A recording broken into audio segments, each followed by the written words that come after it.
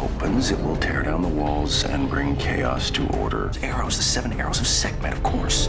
She has returned. The great huntress walks among us again. Looks like we're dealing with Sekhmet, the daughter of Ra. All Jaffa know the name Sekhmet, she who defied her father and was forever banished. Colonel, this technology is phenomenal. It could potentially hold gigabytes of data. These look like mine. Images, maps, real-time communication, they're all displayed right before your eyes. Maybe it's something you shouldn't see. Okay, Daniel, what the hell? Well, we know it wasn't you who died in the gate room today. Well, I've lost some weight. Radiation levels approaching critical, sir. Are we under attack?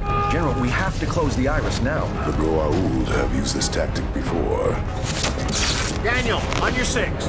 Close the iris. Kill. You're up. We're right behind you. As you wish, O'Neill. But the area around the Stargate's only lightly guarded. We should be able to gate in and out without attracting too much attention. SG-1, you have a go. All right, kids, nice and easy. Carter, take point. Teal,